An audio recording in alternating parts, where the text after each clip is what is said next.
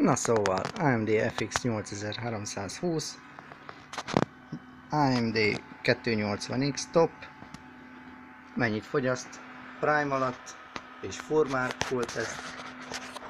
Ennek a fogyasztása 421,3 watt.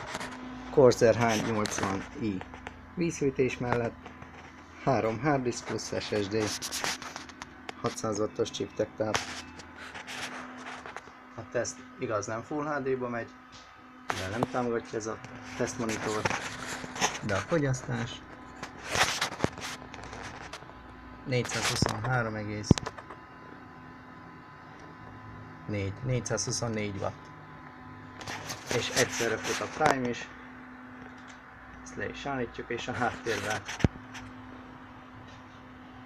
megy a Prime, mind a 8 mag száz százalékon. Tehát fogyasztás így videókártya stressz nélkül 228 watt. Köszönöm a figyelmet, sziasztok!